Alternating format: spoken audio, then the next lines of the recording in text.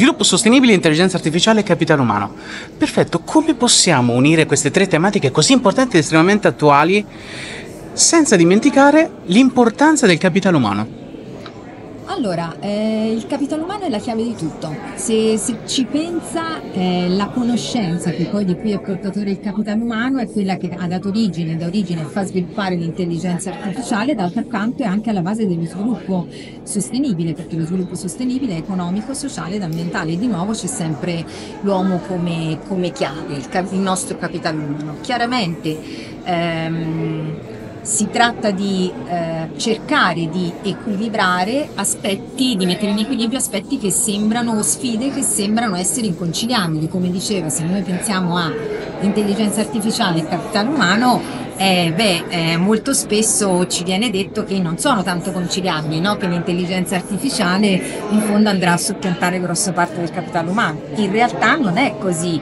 È chiaro che ci vuole un'evoluzione del capitale umano perché, perché l'intelligenza artificiale deve essere adeguatamente utilizzata, deve essere adeguatamente eh, sfruttata, allo stesso tempo le competenze devono evolvere per poter far sì appunto che si crei questo equilibrio, soprattutto una valorizzazione che è del capitale umano, dell'intelligenza artificiale in un'ottica perché in realtà tutto questo va racchiuso nello sviluppo sostenibile, quindi cercando di perseguire sempre benessere economico insieme a benessere sociale, insieme a quello che è il rispetto e la valorizzazione dell'ambiente in cui, in cui viviamo. Chiaro che sembrano inconciliabili, lo sono nel breve, perché non si può ottenere tutto nel breve, Bisogna avere quindi una prospettiva, una visione di lungo periodo ed è su questo quello su cui noi ci interroghiamo.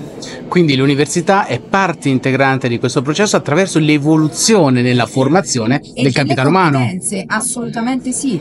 Eh, prima è intervenuto il nostro rettore, il professor Gianluca Gregori, che diceva come nel nostro Ateneo, per esempio, i corsi di studio sono passati negli ultimi cinque anni da 50 a 75, creando eh, corsi di studio che sono proprio quelli coerenti con quello che è il contesto attuale, contesto socio-economico attuale, ma anche nella prospettiva futura. E quindi cercando per esempio di fare qualcosa che in passato non si faceva, cioè quello di creare delle competenze che siano transdisciplinari, quindi che concilino per esempio quella che è l'intelligenza artificiale con quelle che sono eh, per esempio le nuove discipline o corsi di laurea appunto che sono orientati sempre verso la sostenibilità. Quindi ehm, lo sviluppo delle competenze e l'università fa proprio questo, sviluppa competenze e sviluppa conoscenza. Anche non dimentichiamo la parte della ricerca che è fondamentale e della diffusione della ricerca nel territorio, perché questa è l'altra terza missione fondamentale dell'università noi creiamo conoscenza, la conoscenza poi eh, la trasferiamo a quella che è, quelli che sono gli studenti, quindi i futuri laureati, i futuri eh, lavoratori, ma poi allo stesso tempo trasferiamo anche le nostre conoscenze nel contesto socio-economico perché vengano utilizzate.